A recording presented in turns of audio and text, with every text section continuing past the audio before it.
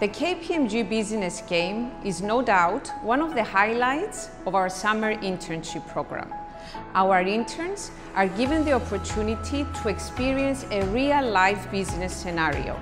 They are given the task of upgrading a service or a product or creating one from scratch.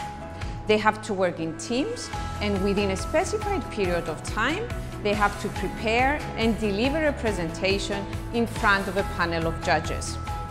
Critical thinking and analysis, communication, creativity and analytical thinking are amongst the future skills for career development.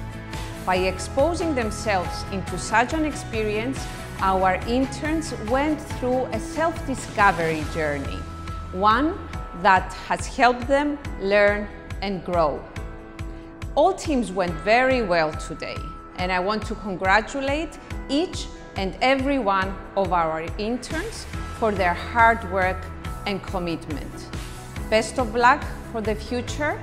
Keep aiming high and with hard work, you can deliver the best outcomes for your life. All the best.